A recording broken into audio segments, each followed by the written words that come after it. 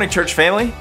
My name is Alex Jones, and I'm the Associate Director of Next Gen Ministries here at the Fountain. It's a great day to be in the house of the Lord, and we're so grateful that you're here worshiping with us this morning. If this is your first time with us, please make sure you check out Connection Point, which can be found on the west wing of the Fellowship Hall. There you'll find our awesome hospitality team who's ready to answer any question that you might have. Also, if you look directly in front of you in, in your chair, you'll find a Connect card. The Connect card helps us to know who's in and out of the church on a weekly basis, as well as take in prayer requests and know who's ready to get plugged in into a particular ministry. If you fill out fill out that Connect card from week to week, we want to say thank you. If you're looking for an easier way to fill that out, you can go to our website, yourfountain.info, and click the menu Dropbox button. That'll take you to the Connect link, which could take you to an electronic version of the Connect card. You can also click the Discover link and find out about all the amazing things that are happening here at the Fountain.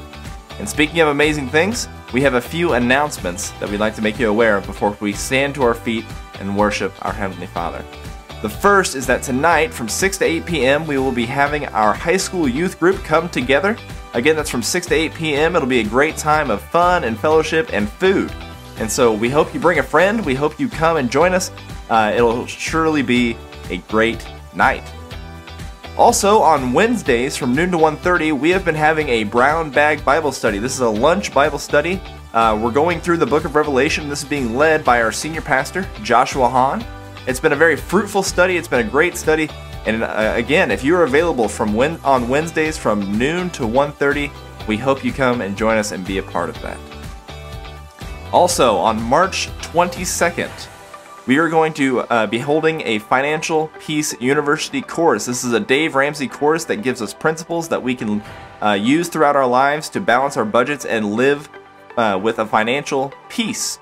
And so this is a nine-week course that's going to be facilitated by one of our elders, uh, Jim Bullard and Roy Hardwick.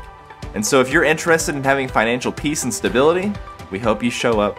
Uh, that'll be during second service starting March 22nd. And finally, church, on April 5th, the Sunday before Easter at 4 p.m., we are going to be having a Passover Seder feast.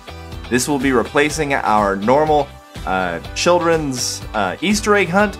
We're going to be coming together as a church family and we're going to be celebrating uh, the Israel's escape from Egypt. It's going to be a great time, a great uh, great time of festivities and food. And so again, that's March or April 5th uh, at 4 p.m. So make sure you mark your calendars.